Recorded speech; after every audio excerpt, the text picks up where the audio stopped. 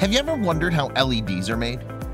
A semiconductor epi wafer is made, and more layers are grown on top of the epi wafer.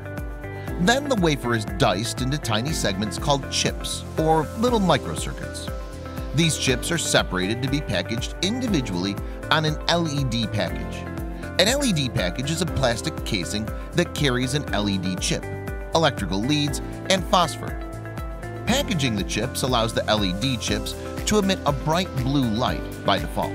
In order to convert this blue light to white light, we add a high CRI phosphor formulated by alloy LED to emit high-quality light, or high CRI, at the precise color temperature. Phosphor is a substance that, through luminescence, converts the blue light into many different shades of white. All LED chips have a slightly different color, brightness, quality, and other characteristics. Every LED exhibits unique characteristics, and for that reason, alloy LEDs are binned.